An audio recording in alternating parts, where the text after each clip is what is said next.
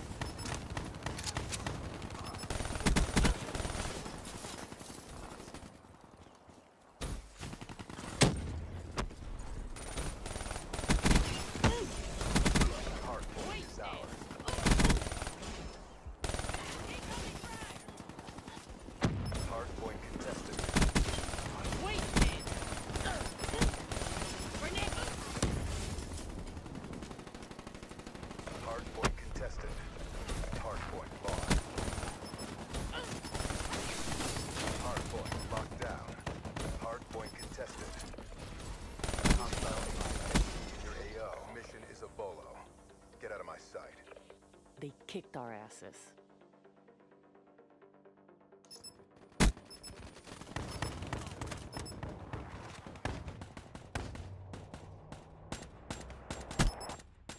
Threat neutralized. Tango down. Down. The um the recorder didn't show all the way how the, um didn't show the full game, but if you were seeing the rest of the game, I dropped 51 fucking kills and I was using the 48 dredge. Now, a 48 dredge, because I'm going for dark matter, and the 48 dredge is really bad to me. I really hate it. But I dropped 51 kills and 49 dubs. That's actually astounding for one sensitivity. And my sensitivity is usually 10 turnaround and 8 up and down because that's how I play. And that's how I like my gaming style is. And personally, it's my best sensitivity for Call of Duty Black Ops 3. And it like actually helps me a lot. But no, that's to be the end of the video. Hope you guys enjoyed that partially one sensitivity gameplay. I'll do another one soon with no commentary.